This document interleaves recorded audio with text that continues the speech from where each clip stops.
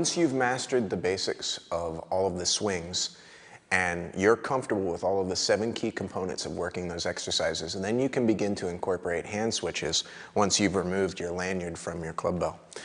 So if you begin your basic swing, beginning the basic hand switch is not throwing the Clubbell. You should never throw the Clubbell.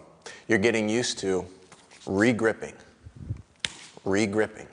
Now, one of the things that you'll see is that you'll move from mid-choke to zero choke once you become comfortable with it. But that's why you need to master the basics before you ever let go of your lanyard. If you grab at zero choke, you're re-grabbing at mid, mid, mid choke on the handle. And as you go through the swing, you'll see that the Clubbell slides the zero choke. Hand switches will really be able to diversify your basics and give you an array of exercises that you can do, especially when you move to side swings. So you move through your side rocket, you can hand switch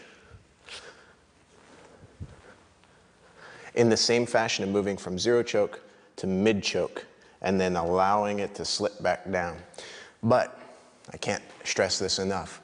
This is once you've mastered the basics so that you're confident that you can remove your lanyard and begin to change hands.